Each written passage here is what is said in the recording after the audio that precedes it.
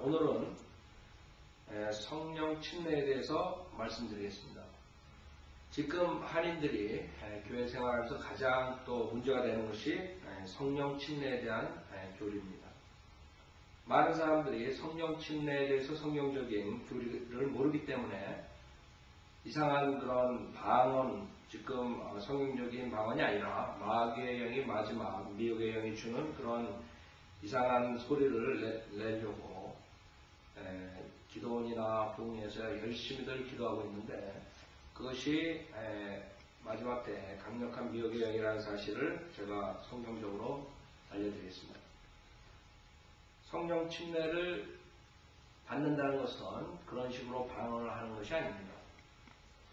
에, 많은 목사들이 성경을 모르기 때문에 아니면 잘못 가르치기 때문에 성령 침례를 받은 사람들의 증거가 그런 이상한 소리를 하는 것이다. 이렇게 말을 하는데, 첫째, 그 방언이라는 것조차도 그 사람들이 말하는 방언이랑 성경적인 방언이랑 틀리죠. 성경적인 방언은 오순절날 각 지방에서 온 사람들이 자기네 나라 언어로 어, 그것을 들었다 그랬어요. 무슨 말이냐면 방언, 성경에 나오는 방언은 에, 언어인 것입니다. 외국어. 그렇기 때문에 우선 지금 수많은 한국교회에서 또 베니 힌이니 여러 charismatic 그런 거짓 목사들이 하는 모든 방언들은 성경적인 방언이 아니라 마귀의 방언이고 그것이 성령 침례를 받는 증거가 아닙니다.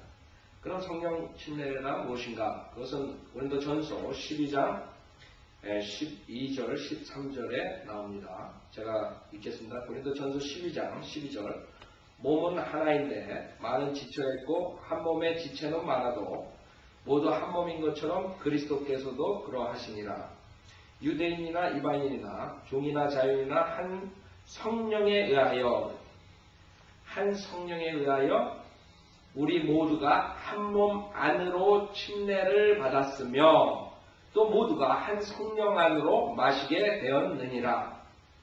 자 여기서 13절에 모두가 한 몸 안으로 침례를 받았으며 무엇에 의해서 한 성령에 의하여 그 다음에 또 모두가 한 성령으로 마시게 되었느니라. 이것이 성경적인 성령 침례의 정입니다. 즉 다시 말해서 죽어서 지옥으로 갈 수밖에 없는 죄인이 예수 그리스도의 복음을 마음으로 믿었을 때 성령님께서 우리의 죽은 영을 살리시고 그것이 거듭나는 거죠. 본 어게인이라고 그러죠. 우리가 죽었던 영이 허물과 죄로 죽었던 우리들이 성령님께서 들어오셔서 죽은 영을 살리셨어요. 그것이 거듭나는 것이고 그 다음에 그 성, 령님께서 우리는 예수 그리스도의 몸 안으로 침례를 주신다 이거죠. 침례가 무엇입니까? 잠길 침자입니다. 다시 말씀드리면 예수 그리스도의 몸 안으로 우리가 일지체로 잠기는 것을 말하는 겁니다. 그렇기 때문에 우리가 그 성령 침례를 받았을 때 우리는 예수 그리스도의 몸의 한 일지체가 되는 것이고 그 다음에 예수 그리스도의 몸의 머리는 우리 주 예수 그리스도십니다. 자, 그러면 어떻게 성령을 받는가? 거기에 대해서 또 많은 사람들이 혼동하고 있는데, 성령을 받는다는 것은 어때 눈에 보이게 아니면 어떠한 체험으로 받는 것이 아닙니다.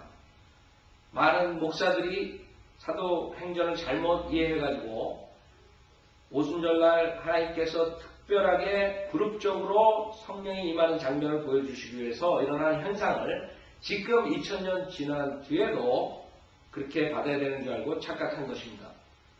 여러분 사도행전 읽어보면 성령을 받는 장면이 딱 네 번 나옵니다. 네 번 그룹적으로 나오는데 첫 번째 오순절날 사도행전 2장에 그 유대인들이 모였을 때 성령이 임하죠. 그 다음에 사도행전 8장에 사마리아인들이 믿었을 때 베드로가 가서 안수를 함으로써 성령을 받습니다. 그 다음에 사도행전 10장에 이방인 코넬료가 그 집안에서 베드로가 설교를 할 때 그 말씀을 믿고 성령이 임하는 장면이 나옵니다. 그 다음에 사도행전 19장에서 침례 요한의 제자들이 그 성령에 대해서 몰랐을 때 사도 바울의 말을 믿고 그 다음에 성령이 임하는 장면이 나옵니다. 그래서 사도행전 2장, 사도행전 8장, 사도행전 10장, 사도행전 19장 그룹적으로 유대인들에게 사마리아인에게 그 다음에 이방인에게 그 다음에 침례 요한의 제자들에게 임하는 장면 외에는 그 뒤에는 2000년 동안 한 번도 그런 식으로 성령이 임하는 것이 아니라 성령이 임하는 것은 예배소서 1장 12절과 13절, 14절에 의해서 예배소 1장 12절에 보면 이는 먼저 그리스도를 믿었던 우리로 그의 영광의 찬양이 되게 하려 하심이니라 그랬어요. 그 다음에 13절 잘 보세요. 그분 안에서 그분 안에서 너희도 진리의 말씀 하나님 말씀이죠. 곧 너희 구원의 복음을 듣고서 그분을 신뢰하였으니 구원의 복음은 고린도전서 15장에 나오는 성경대로 예수 그리스도께서 우리의 죄를 위해서 십자가에 위해서 피 흘려 죽으셨다가 장사되신 지 3일 만에 성경대로 부활한 사실 그것이 구원의 복음입니다.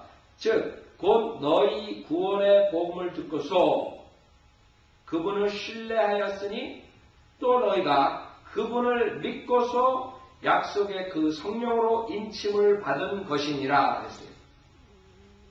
자, 그럼 성령을 어떻게 받아요?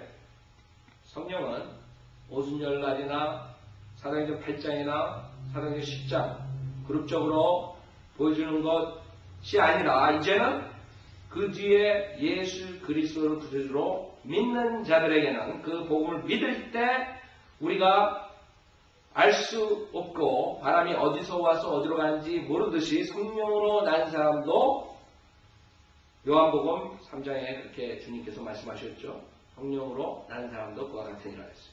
즉 여러분이 하나님 말씀을 신뢰하고 복음을 믿었을 때 여러분이 모르게 성령님께서 들어오셔서 그 성령님이 여러분의 죽은 영을 살리고 여러분을 예수 그리스도의 몸 안으로 잠기게 하는 것이 성령 침례인 것입니다. 그래서 문제는 여러분이 지금 이 말씀을 듣고 있는 이 순간에 정말 내가 죽으면 하늘나라에 갈 수 있는가 없는가 그것을 점검해 보시고 만약에 그 확신이 없다면 여러분이 오늘 제가 암송하는 로마서 10장 9절을 마음으로 믿고 구원을 받으십시오.